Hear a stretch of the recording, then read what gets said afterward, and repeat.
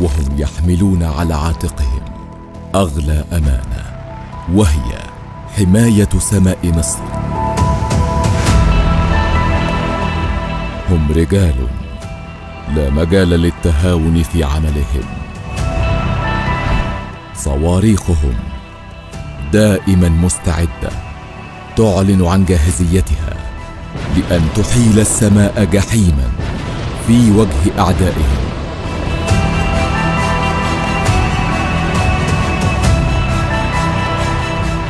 خمسون عاما. وما زال العطاء مستمرا. لفرض الإرادة. وحسم الانتصار.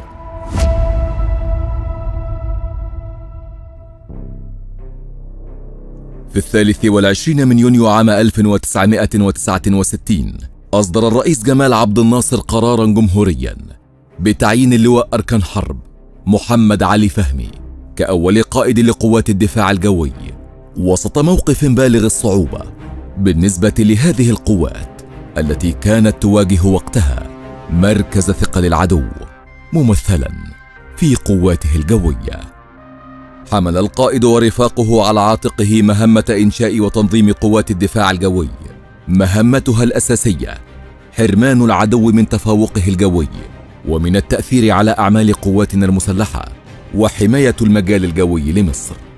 قام القادة بدراسة العدو الجوي فسابقوا الزمن لتجهيز وتدريب أطقم القتال وتزامنا مع وضع خطط الدفاع الجوي عن مختلف الأهداف الحيوية بالدولة وإنشاء المواقع الحصينة على اتساع رقعة الدولة وبدأ الرجال في بناء حائط الصواريخ.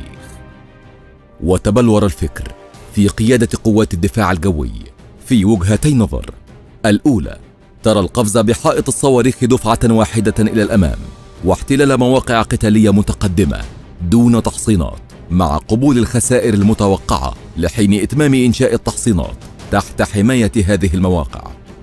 بينما ترى وجهة النظر الأخرى أن يتم الوصول بحائط الصواريخ إلى منطقة القناة على وثبات وذلك بأن يتم إنشاء تحصينات كل نطاق تحت حماية نطاقه الخلفي فيما أطلق عليه. أسلوب الزحف البطيء. ابتدينا نحط أول لبنة في سنة 70 لنصر أكتوبر في 73 وهو قرار إنشاء حائط الصواريخ. في وثبات ثلاثة بأسلوب سميناه وقتئذ أسلوب الزحف البطيء وتم ذلك في سرية تامة. وفي صباح الثلاثين من يونيو عام 1970 فوجئت الطائرات الإسرائيلية المغيرة بالصواريخ المصرية تكبدها خسائر فادحة ولم تستطع قيادة سلاح الجو الإسرائيلي أن تصدق أن حائط الصواريخ أصبح حقيقة واقعة. وهكذا سقطت هالة التفوق الإسرائيلي في يوم مشهود استحق أن تتخذ منه مصر عيدا لقوات دفاعها الجوي. واستمرت طائرات العدو في التساقط وتهاوى معها الحلم في السيادة الجوية المطلقة مما أجبر إسرائيل للإلحاح على الولايات المتحدة الأمريكية لإيقاف مذبحة الطائرات الإسرائيلية وتقديم مبادرة روجرز لوقف إطلاق النار. وخلال الساعات التي سبقت وقف إطلاق النار تمكنت قوات الدفاع الجوي فيما يشبه المعجزة من استكمال حائط الصواريخ الأضخم في تاريخ الحروب المعاصرة وفقا للصورة النهائية التي كان من المخطط الوصول لها وأمكن مضاعفة عدد القواعد المكونة لحائط الصواريخ وامتد الحائط ليغطي بظله كل منطقة القناة ويفرض سيطرته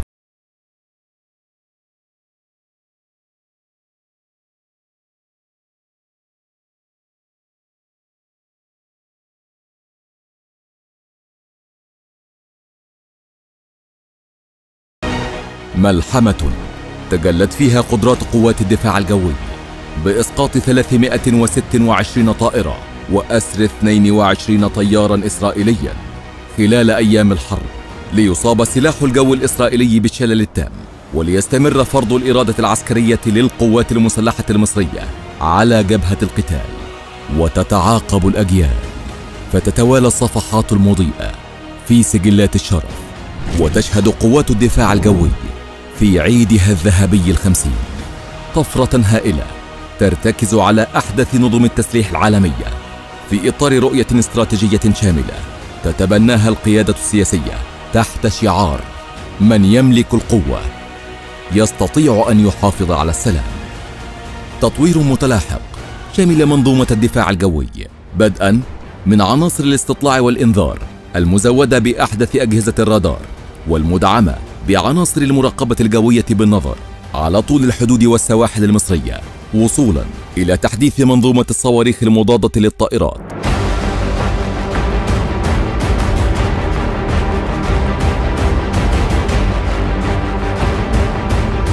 والمحمولة على الكتف. وكذا المدفعية المضادة للطائرات لتصبح أكثر فاعلية في التصدي للعدائية الجوية ومجابهة أعمال الإعاقة الإلكترونية. وحفاظا على أرقى درجات الاستعداد القتالي تولي قوات الدفاع الجوي اهتماما بالغا بتدريب الفرد المقاتل داخل الوحدات وتنفيذ العديد من المشروعات التعبوية والتكتيكية والبيانات العملية تلك التي تنتهي بتنفيذ الرماية الصاروخية بالذخيرة الحية والتي تحرص القيادة السياسية والقيادة العامة للقوات المسلحة على حضورها. لتشهد مدى ما وصل إليه الفرد المقاتل من كفاءة واحترافية في تنفيذ المهام الموكلة إليه.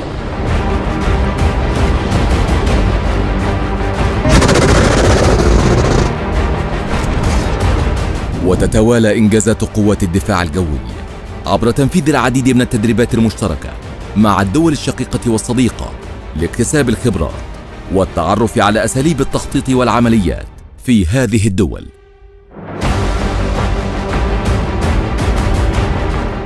وكان آخر هذه التدريبات. التدريب المصري الروسي المشترك. سهم الصداقة واحد. والذي تم تنفيذه لأول مرة. بجمهورية مصر العربية. في نوفمبر 2019 بأطقم قتال مشتركة من الجانبين. واختتم بتنفيذ رماية متميزة بالذخائر الصاروخية الحية. مما يؤكد احترافية مقاتلي قوات الدفاع الجوي المصري. وقدرتهم على استيعاب التكنولوجيا الحديثة.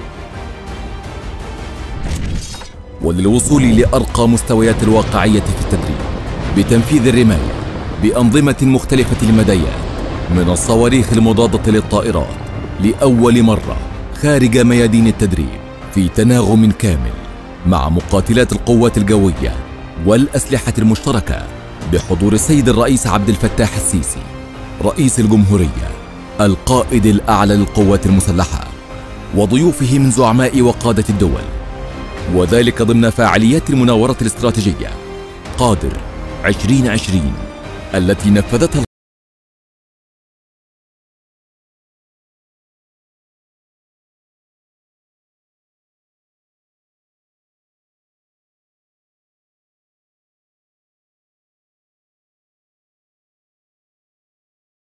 ويتواصل عطاء قوات الدفاع الجوي من خلال منظومة تعليمية تبدأ بكلية الدفاع الجوي إحدى أهم قلاع العلم العسكري في الشرق الأوسط وحجر الزاوية في تأهيل أجيال متعاقبة من خيرة ضباط العسكرية المصرية. وتكتمل المنظومة التعليمية بمعهد الدفاع الجوي كمنارة تمتد أشعتها للدول الشقيقة والصديقة بتأهيل الضباط للحصول على الفرق الحتمية والدراسات العليا واستمرارا للمحافظة على الصلاحية الفنية لمعدات الدفاع الجوي فقد شهدت ورش الصيانة مرحلة جديدة من التطوير من خلال القيام بأعمال الصيانة المختلفة وإجراء العمرات اللازمة للمعدات بسواعد أبنائها من المهندسين والفنيين المؤهلين على أعلى مستوى بالإمكانيات الذاتية عوضا عن تنفيذها بالخارج ترشيدا للنفقات. ولا تألو قوة الدفاع الجوي جهدا في الحفاظ على الروح المعنوية العالية لأبنائها المقاتلين حيث تقوم بإنشاء معسكرات الإيواء الحضرية بوحداتها المنتشرة في ربوع مصر. هذا فضلا عن عدد من دور الدفاع الجوي للترفيه عن الضباط وأسرهم ومن أحدث هذه الدور دار الدفاع الجوي بالعاصمة الإدارية الجديدة ودائما وأبدا تفاخر قوات الدفاع الجوي بخيرة أبنائها. فلا تنسى شهداءها الذين قدموا أرواحهم دفاعا عن الوطن. بوضع إكليل من الزهور على النصب التذكاري لشهداء الدفاع الجوي عرفانا بما قدمه هؤلاء الأبطال. وتمضي مسيرة نصف قرن. فتزهو الأمة بما وصل إليه حماة السماء المصرية من طفرة تسليحية. وكفاءة قتالية ليؤكد الرجال قدراتهم الفائقة على مواجهة التحديات والعدائيات. فهم رجال يملكون القرار بفرض الإرادة وحسم الانتصار.